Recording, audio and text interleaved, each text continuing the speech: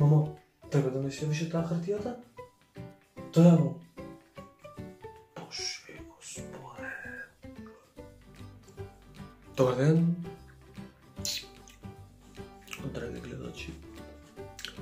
Јас сум Стефан Тазовски, матометнич едно Стефан Пари. Имам 19 години, доаѓам од Скопје и се одлучив за прв пат во мојот живот да снимам на Зашо не е прв пат. Маце не знам место за снимање, ама на шолја сум така ме фативце. Но викам неголемата инспирација дојдува таму 100% ќе достигнеме некој големо ниво. па да, да се представиме од поново. Јас сум Стефан Тазевски, моето име е Дон Стефан Пари.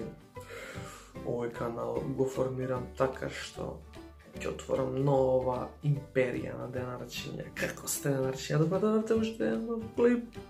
Бам, бам, бам, бам. Има.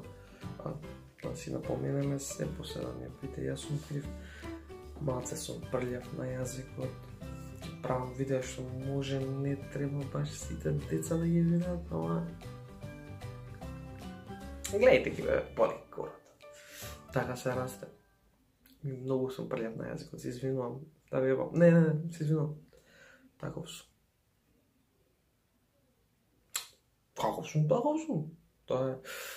Па, ја мислам дека тоа би треба те да биде се за ова да видео. Не забравете да сите на лайк, да ви се допада, да го не дислайк.